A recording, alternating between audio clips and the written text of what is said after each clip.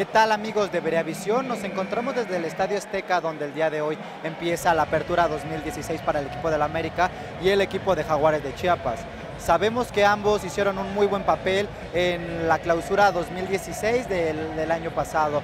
Esperamos que puedan hacer un gran papel en esta apertura 2016 que comienza. Bueno, sin más preámbulo, vamos a ver este gran enfrentamiento que nos dejará un buen sabor de boca. Apertura 2016, jornada 1 se disputó el partido entre el equipo del América contra el equipo de Chiapas. Inician los primeros 45 minutos con un partido muy reñido para ambas escuadras, con un par de llegadas, centros y contragolpes.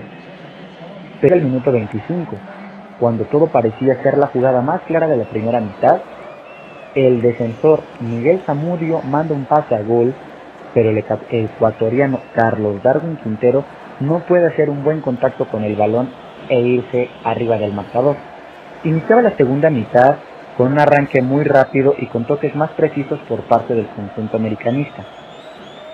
Era así como llegaba el minuto 50 cuando el delantero Darwin Quintero, que había estado buscando su gol desde la primera mitad, impacta el balón en el palo inferior izquierdo del guardameta chiapaneco Oscar Jiménez y así se pone en el, arriba en el marcador 1 a 0 llegó el minuto 90 cuando el argentino Silvio Romero, con un tiro desde afuera del área grande, la termina metiendo en el arco de Oscar Jiménez y se ponen hacia arriba en el marcador 2 a 0